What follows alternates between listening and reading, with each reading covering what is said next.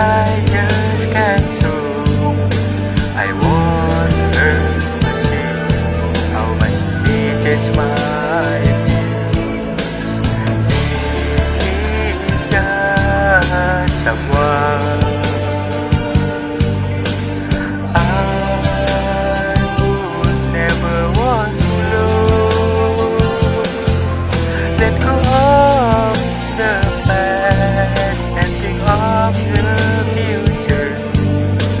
say they don't know what it's like being afraid every single day. Afraid of losing.